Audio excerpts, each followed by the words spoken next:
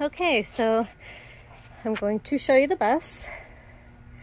Uh, first, I just want to show you that I have uh, magnetic curtain doors on both the wheelchair accessible doors and it's no longer accessible because the machinery that wheelchairs got in there with was removed. Uh, and the passenger door also has one. So you could get a lot of nice fresh air. Uh, the other thing is you can, um, I have one up there. Uh, um, it is Velcroed at the moment and uh, it's used so that bugs hopefully can't come in when the emergency exit is is open in order to let some of the heat get out you know extra heat get out and some more breeze come in. Okay so and uh, a few of the windows open not all of them. This one does it's not currently open but I do have a net that I keep over that and I attach it to the window with clips. We'll see it from the inside as well as that back window. Uh, they're both emergency exits, but you know, obviously they can be used to let some air in and out. so let me go in.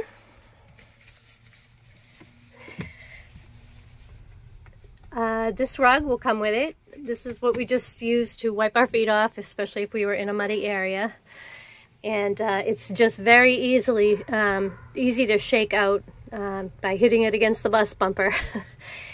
a little trash bag and some cleaning wipes and stuff, just uh, little compartments there to hold different things.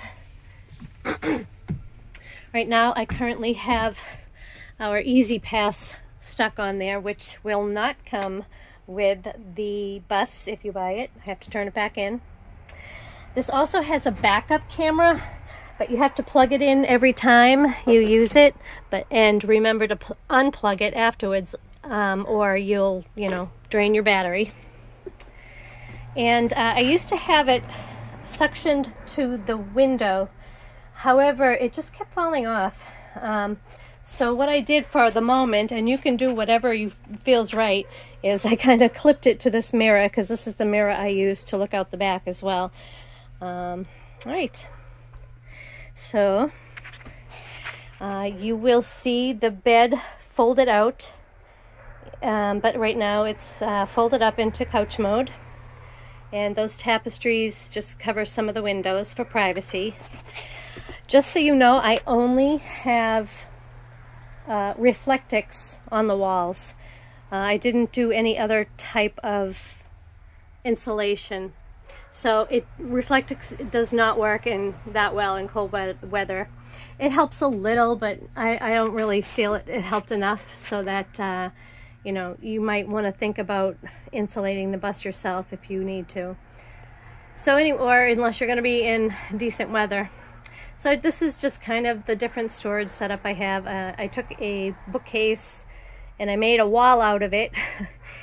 um, so it's attached to the bus. And I also attached for the side wall here uh, an old door that I found. And actually the mirror was attached to the door when I found it and I thought, oh, okay, that'll be great. so we do have a, a decent mirror in here. You can do whatever you want with the pictures. I'm probably not going to take them. This is battery operated and it's it's on there pretty well you know you can remove it to change the batteries it's just on there with a screw and I have a little sign up there. You can keep the sign. There's another little sign I have attached. You can keep that as well. I'm also going to show you this at night just to uh, show you that I have these plug-in fairy lights and they are attached on this grid up here that I also um, can use use to hang, you know, you can hang um, those uh, magnetic hooks on and hang things from them if you need to. They've been really helpful. You can also store extra blankets up there, which is kind of helpful because when you're driving and this wiggles or, you know, kind of jumps up and down a little bit with the bumpy roads and stuff. It's pretty noisy. So um, even though it's attached, even though I have it attached, it still, you know, wiggles. So um, having the extra blankets or pillows or whatever you can store up there uh, stops that from happening. Oh yeah, I still have one of the magnetic hooks right here. They're great. I hope you saw that. I, could, I don't know if I, I was looking at it and not the camera lens. There we go. And um, so this is just, um, I made a little trash container out of it to, to keep on the bookshelf. You can keep that if you want. you get some hooks. And these are actually magazine holders. And you can store books or papers or whatever you want in there. Under here is some storage. Uh, you can store things in those milk crates that are use, used as the legs of this bed. Uh, I did that on purpose so you could store things in there and bungee cord them in there for safekeeping. The same with this. I wanted to, you know, have the opening out and you can bungee cord things by holding onto the the um, handles there. You can bungee cord the handles to keep things in. I have a uh, Lagun table. This table actually is not from Lagun, just the uh, just the um, stand that it stays on, you know, the thing that moves around and stuff. Uh, I attached this old table that I had and it's kind of thin, so some of the screws almost came through, but it still worked out well enough as a table and I screwed on this little cup holder if you wanted to put something in there. Okay, and this is attached to the trunk. Now the thing about that is sometimes if you're sitting in this, this, these back seats and you wanted to eat and you have the table here, you'd probably want to lower the table.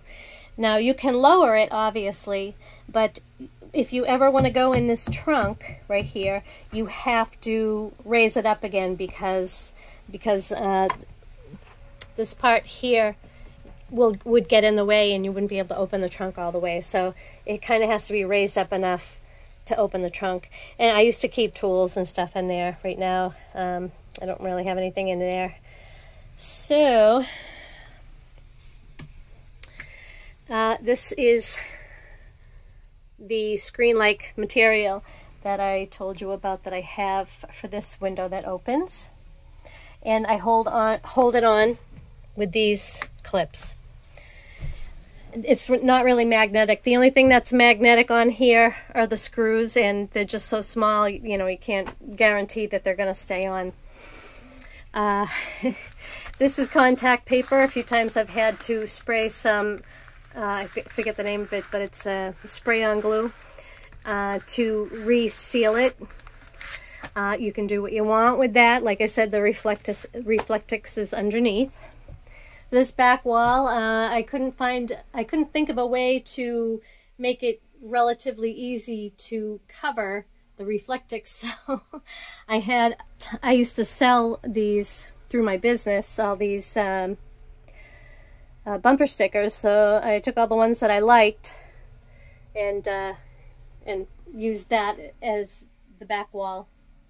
So this window opens too. This curtain is um, the screen-like thing that I've used for that.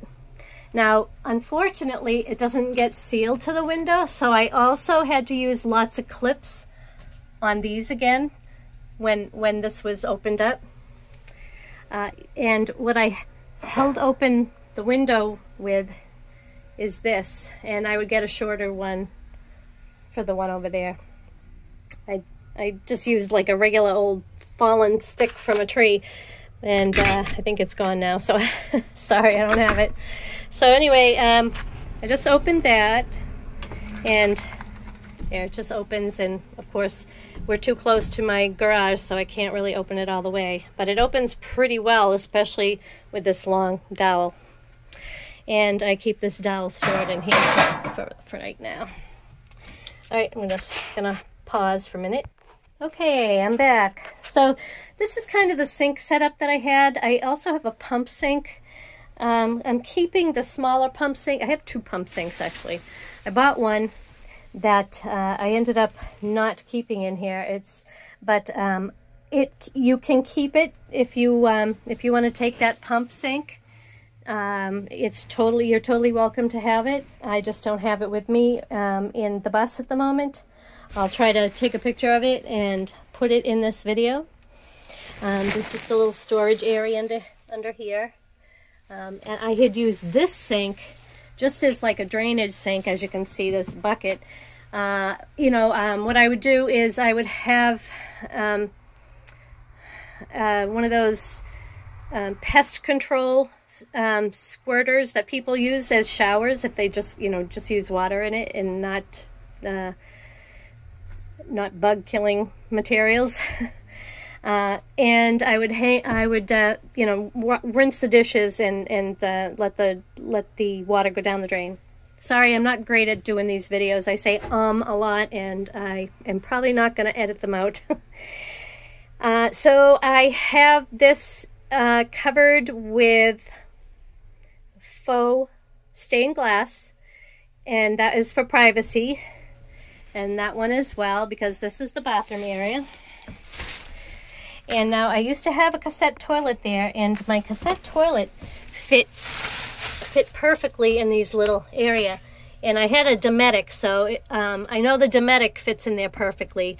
Um, but the Dometic is pretty close to the same size as all the other types, so you most likely would be able to fit uh, any other brand in here as well, if that's what you wanted to do.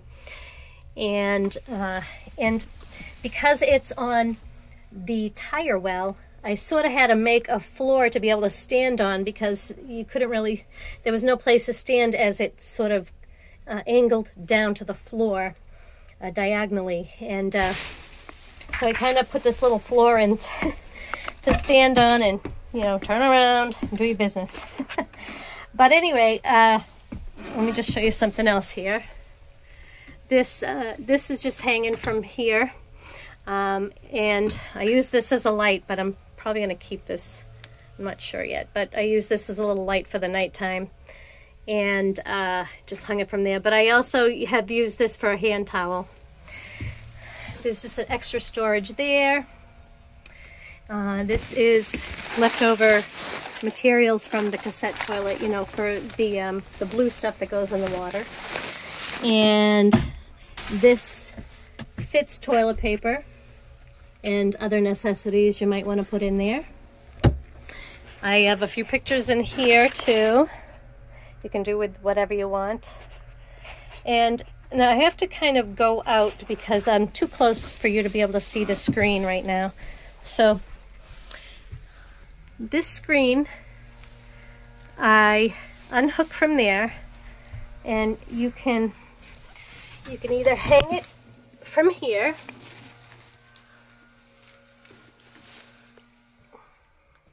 For some privacy so you have privacy in the bathroom. Or you can hang it from here I mean no up here.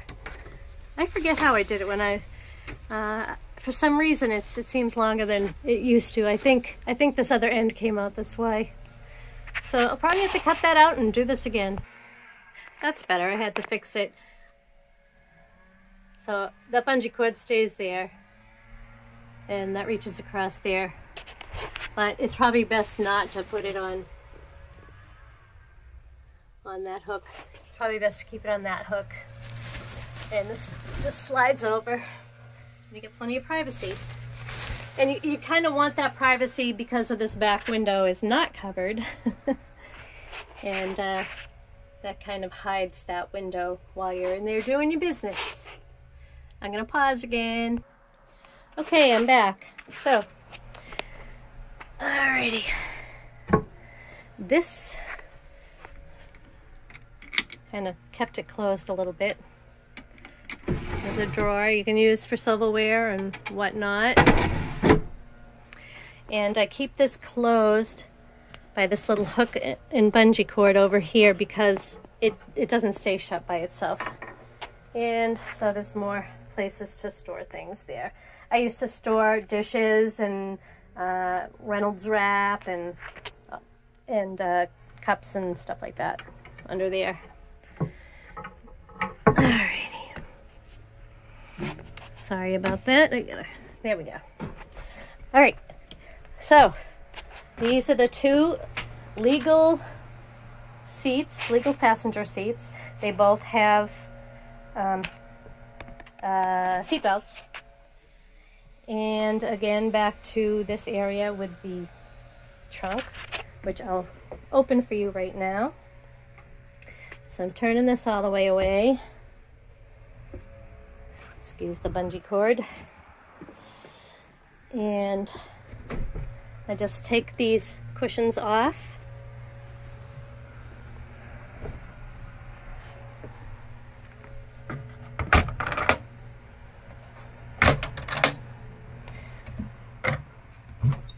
And voila, more storage. I uh, used to just uh, save all these different silicone packs just to keep in there to keep extra moisture out. And uh, they seem to do the good the job very well. So, oh, the other thing is sometimes uh, if I wanted to keep this open, I would hook a bungee cord in there and then hook it up to that little ledge right there on the window. And the bugs are enjoying this weather as well in this third week or almost third week of November. It's a rare, nice warm day, which is why I decided to do this video on the bus today because it's cold out here if I don't. Alrighty, so that's that. I just want to show you too. There's a little crack right here in those uh, those tiles.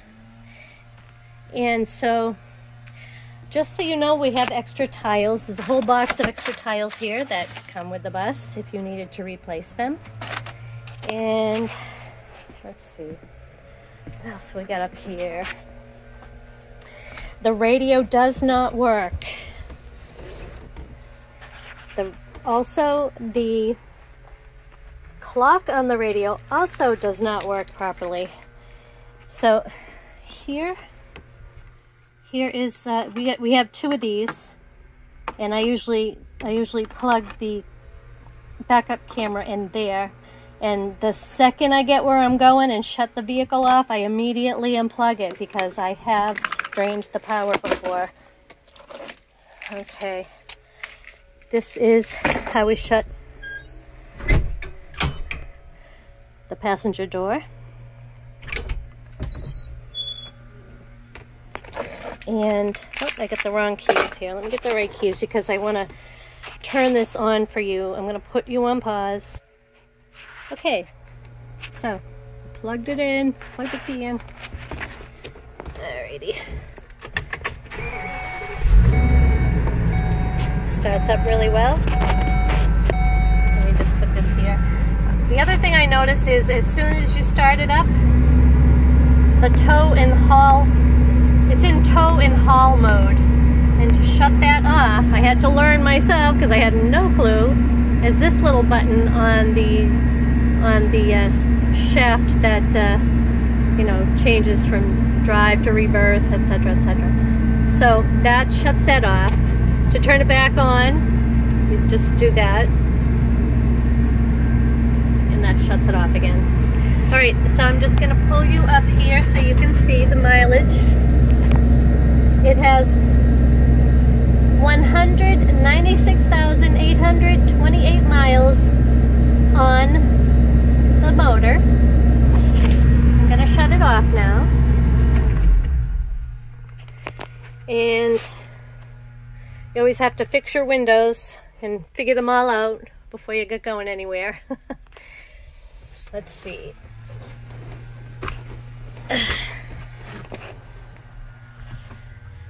In here, I have four chocks to keep it uh, from rolling if you're on a hill. And we also have a working fire extinguisher there. And you can have this broom to sweep it out. And these have in here some big orange things that you stick up if you're on the side of the road in a dangerous situation and you don't want to get hit or anything. So that's what the, that's what's in there. I have another one of these cup holders if you wanted to have extra things there. And it does come with cup holders here. I keep hand sanitizer in one and a cup usually in the other. This is a magnetic phone holder. If you have a magnetic attachment to your phone, you can put your phone right here so you have it available, moves around, uh, you know, in case you, uh, you know, need it for the uh, maps or whatever. And let's see, and we have, of course, the working seatbelt. And I'm to put you on pause again. All right, so I have the hood up. And this is a new battery. Sorry, I am not good at cleaning all this stuff. I don't uh, go and do that kind of crap. If, uh, but it's in decent shape. It's in very good shape.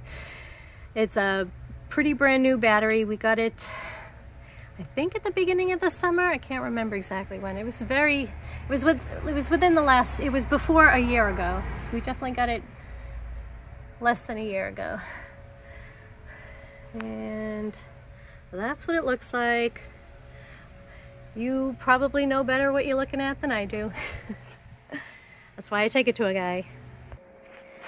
So that's one battery and I'm going to take you and show you the other battery which is also new. Alright, so I, I started to open this before. But come on, there we go.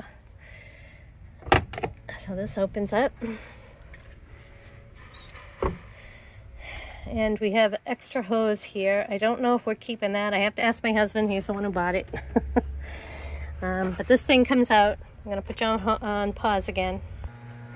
Sorry, I'm not strong enough to pull it out. However, this is the other brand new battery, and, which is also in very good shape. You kind of need both of them to work for everything, you know, for everything to work well. Um, unless you're into electronics and can figure out the wiring, I can't help you there. Okay, that's shut again. And let's see. I don't know what else to tell you. The outside does not look great. That was not my priority. However, um, I did have to fix a few leaks, which are completely fixed. Um, one of the leaks was over here. So I fixed it by spraying some of that Flex Seal along there so it does not look lovely, but it worked. and I'm gonna go around here. If you are into a paint job or into somebody who can help you with the stickers or whatever, they are not in great shape either, but they do the trick. This is the side that got really messy that I had when I had to fix a leak on the side it kind of went up. Where is my finger? There we go. went up um, to above there. I had to um, really do a lot of work up there to make sure it stayed. I put lots of stuff in there it is totally sealed, trust me. And um, But unfortunately, like you said, like I said, it doesn't look that great.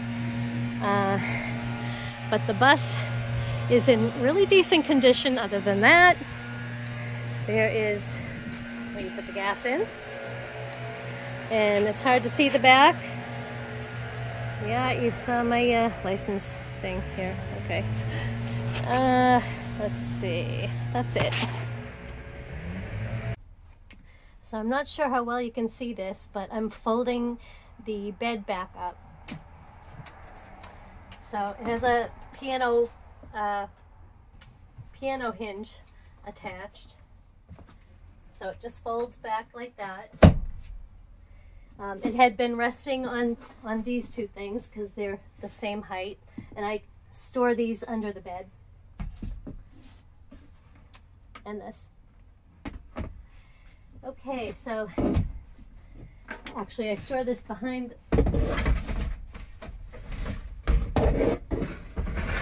sort of under and behind the uh, driver's seat. This goes under there. And then the mattress pad goes back on.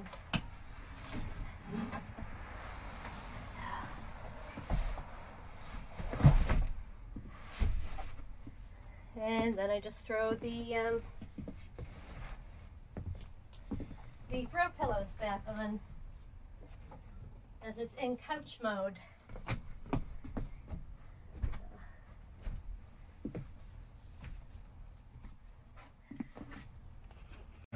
All right, so somebody wanted to see the top of the bus when I had posted it previously, and I hadn't had a picture of the roof. And the roof is kind of dirty right now, but it's in really good shape other than the fact that it's dirty. So this is what the roof looks like. There's tons of space if you want to put some solar panels up here. Alrighty. Okay, so it's getting dark out and I wanted to save this time to show you the lights that I have, the fairy lights that I have set up here in the bus. So, I plugged them into my Jackery. The Jackery is not part of the bus sale, but uh, anyway, I plugged them in there. They do have the regular AC plug. All right. So there are different settings, and when you first turn them on, they go through all the different settings.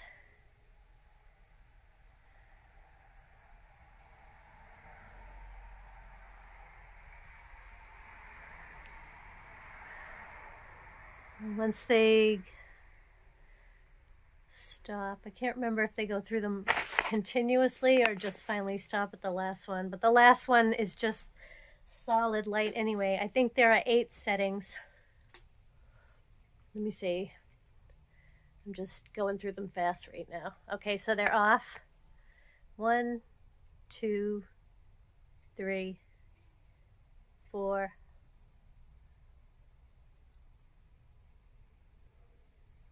five. Ooh, that's awful. six. Right there, that's six. Seven and eight. So eight leaves them on completely. I'm just going to go outside the bus so you can see how they look outside. When you're camping, it's really pretty to have them on on the inside at night. so that's how they look. Okay. Or you could do any of the other settings if you wanted to. So let me come on back on here. What I did was uh, I pulled the wires through the grate up there on the ceiling to help them hang. And you can let them hang too. I just kind of, you know, doubled them back up, but you can let them hang, the strings hang down. But, you know, if you want to sit back, you would be bumping into strings. So it's totally up to you if you want to hang them down and do something different with the bed slash couch. But that's the way they're set up now.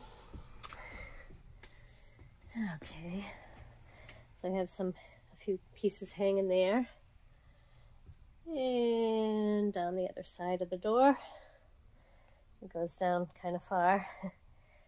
Um, so obviously you could hang this from something. Uh, and I have them wired up around this pole. And it goes also uh, back, I have one hanging here.